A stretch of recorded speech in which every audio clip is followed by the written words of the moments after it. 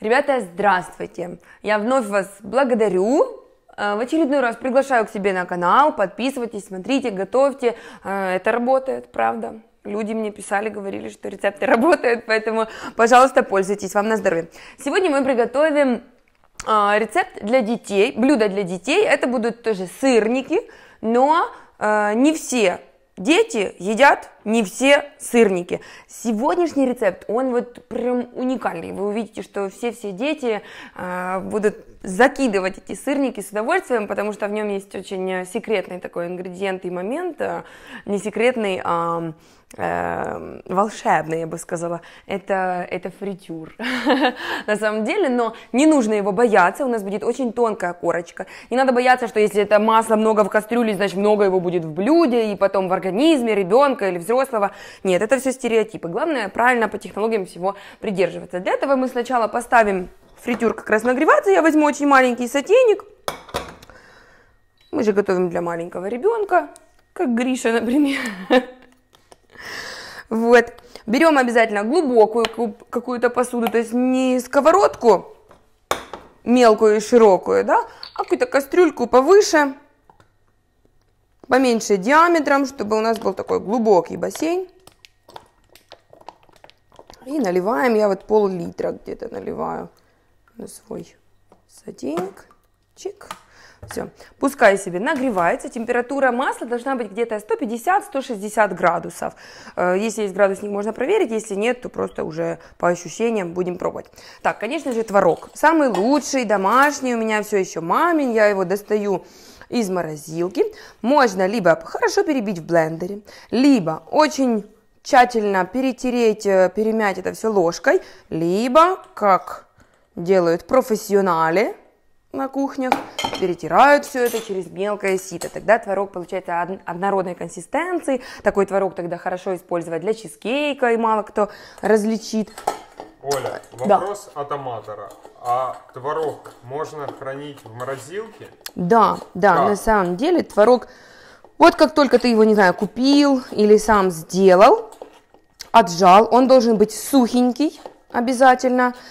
И вот такой вот в зиповский пакет или пищевую пленочку очень плотно, или целлофановый пакет замотал и закинул в морозилку, и все. Потом достал, ни в коем случае нельзя э, его э, это, разогревать там в микроволновке или в духовке, нет. Просто нужно при комнатной температуре, или ты на ночь достал, положил в холодильник, и он себе отошел спокойненько, и нормально.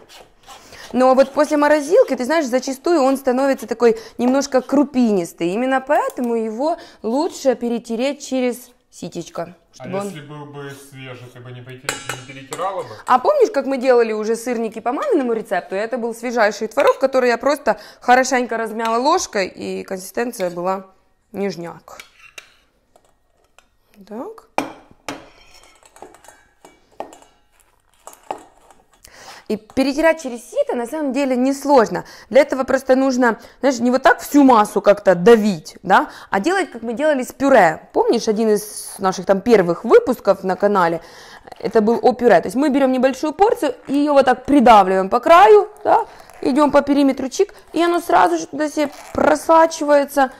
А если ты будешь вот так всю массу чавкать туда, то, конечно же, это займет много времени, поломается два сита, и вы скажете, что Зачем те Олины рецепты?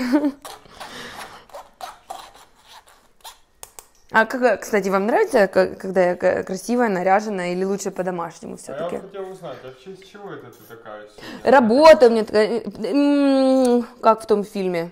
Для меня экзамен это всегда праздник. Когда вы приходите снимать YouTube, для меня это праздник. Так, смотри, какой он получился. М-м, масло масляное. Видишь? Так, на пол килограмма творога мы берем... Ой. Ну ничего. Ничего. Это, это Верочка могла так это сделать. Да. Мы берем одно яйцо, второе надо. Так, добавили яйцо. Можно добавить э, ванильный сахар или ваниль, или просто сахар. У меня Вера любит мед, она не аллергетик. Мед у нас из дедушкиной пасеки. Поэтому я добавляю его сюда. Выпекать мы сырники эти жарить прям долго не будем, они внутри останутся такими как бы сырыми, свеженьким немножко, поэтому не бойтесь э, этих стереотипов, тоже, что мед нельзя готовить, при повышении температуры он теряет свои свойства, ничего ему не будет в этом случае. Смотрите, по, э, по яйцам тоже нужно контролировать. Может, у вас будет суши творог, да, и нужно будет добавить еще половинку, там, желток. Или наоборот, он немножко жирнее мокреет, меньше яйца. Ну вот, масса должна быть такая липучая, чтобы можно было с нее сформировать что-то не жидкое. Хорошо? Хорошо. Обязательно все пробуем. Вот Опять-таки, для всех участников мастер-шеф и потенциальных и настоящих, все, все, все всегда пробуйте. А то потом приходится нам пробовать невкусное что-то. Так, я разбиваю еще два яйца для панировки.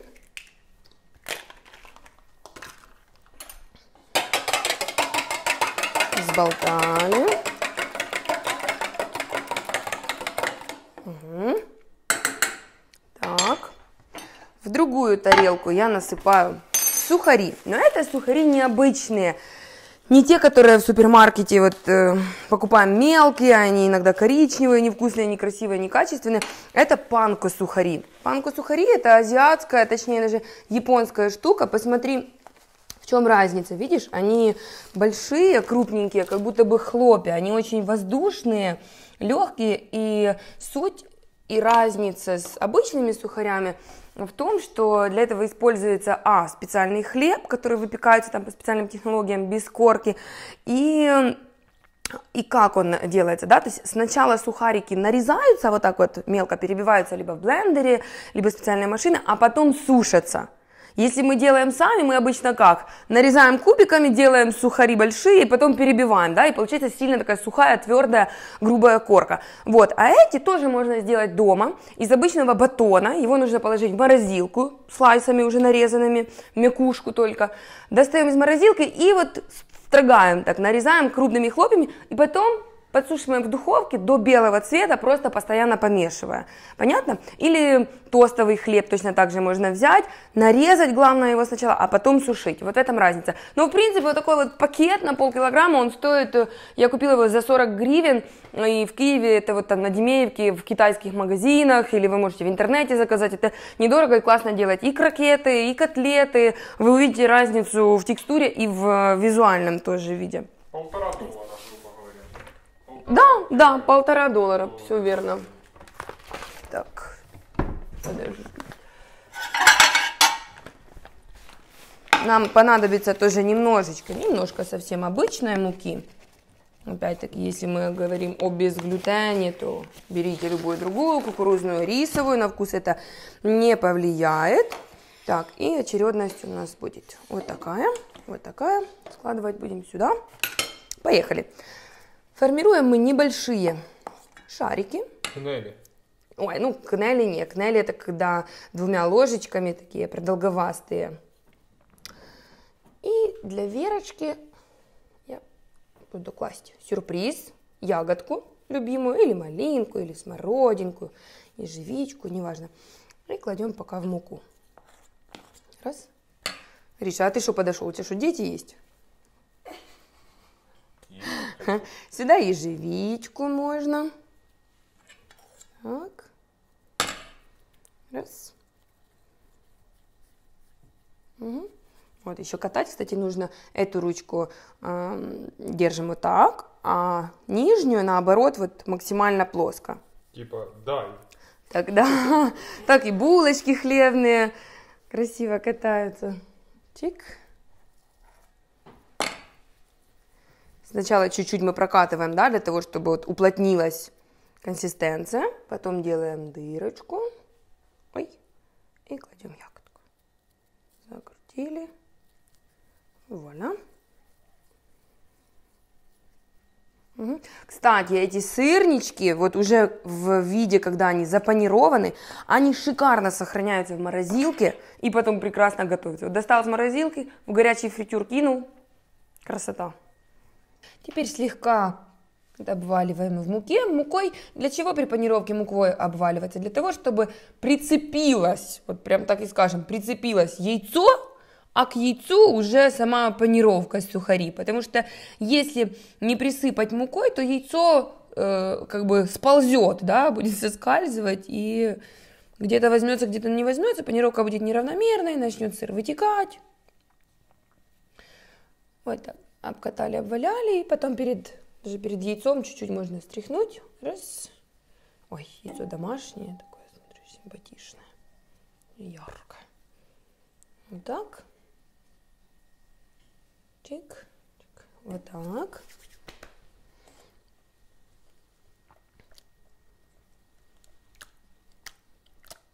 Оп.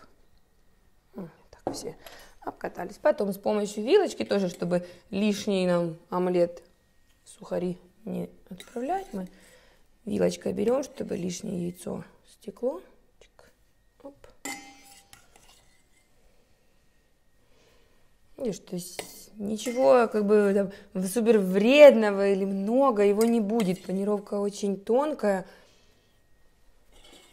Если делаете, кстати, совет, если делаете для заморозки, как заготовку, то вот сто процентов нужно делать двойную панировочку. То есть вот так, и потом еще раз яйцо, и еще раз сюда. Уже после заморозки там перепад температур будет и может вытекать сыр. А если двойная защита будет, то ничего не случится. Вот так хорошенечко. Складываем на досточку куда-нибудь оп. Там уже и масло подогрелось. Можно ежиков таких, ежиков будем жарить. Может, так и назовем это э, сырные ежики? Или в поисковике не сработает? Ну, можно попробовать.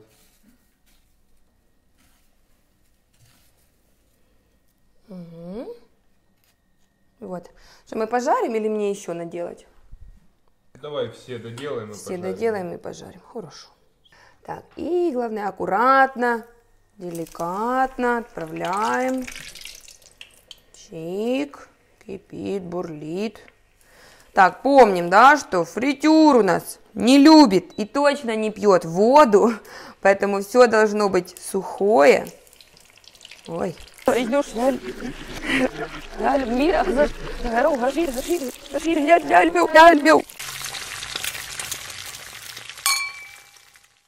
Никогда не наливайте масло в такой маленький сотейник и под завязку. Берите побольше.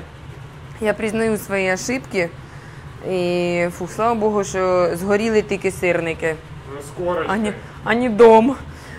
И не квартира. Не с корочкой. С корочкой, да, с корочкой это вот э, для взрослых. А я расстроилась, правда. Я так испугалась. Так, учитесь на моих ошибках, не повторяйте. Вот. Теперь и масла хорошее количество. И температура. Оп. Вот так, не перегружаем. По 5 штучек, например. А тем временем на какую-то тарелочку выстилаем бумагу. Для того, чтобы выложить потом наши сырники и убрать лишний жир. Угу. Помним, да, все сухое. Так, температуру убавлю. Сколько им необходимо? Вот им достаточно реально одной минуты. Одной минуты до легкого золотистого цвета. Вот этот уже готов. Ой, ежик. Ежик, кукожик. Вот этот готов. Угу. Видишь, там, где немножко тоньше была панировка или где-то не зацепилось яйцо, сразу делается дырочка.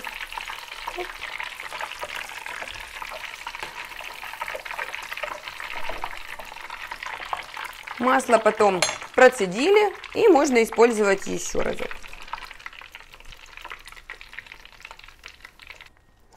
Так, теперь бумажечки, выкладываем ежики. Они супер нежные, так хрустящие, но там вот видишь, живенькие, мягенькие. Так, оп, такие как пончики, не пончики. Здесь намного меньше теста и калорий, чем в пончиках. А вкусно, как в детстве. Так, положим туда еще каких-то ягодок для детей. Чик, чик. Вот так. Немножко голубики. Классно, что сейчас лето, да, и голубика также по 600 гривен за килограмм. Вот так, вот. Так, если, если хочется, нет, я не буду, йогурт не буду. И вот, опять-таки, как для Верочки, я поливаю медиком. Она любит, очень облизывает пальчики с тарелочки. Вы можете притрусить сахарной пудрой, не знаю, там, мятку, вареньку, кто что любит. Ребят, подписывайтесь, пожалуйста, дальше на мой канал, потому что я уже в таком а, азарте, в таком кайфе, когда подписчиков количество растет, и хочется готовить, а, нам хочется еще и студию построить, и вообще профессионально готовить, и вас туда приглашать. Что? А. а, сырничек внутри. Смотри, он как, он как свежий, он вот теплый, проготовленный, но очень нежный. Вот. Э, ставьте лайк, если вам понравилось присылайте мне скриншотики, да, присылайте мне фотографии ваших изделий или как едят дети. Моя Верочка сейчас у бабушки, поэтому съем за нее я. Спасибо вам, до встречи.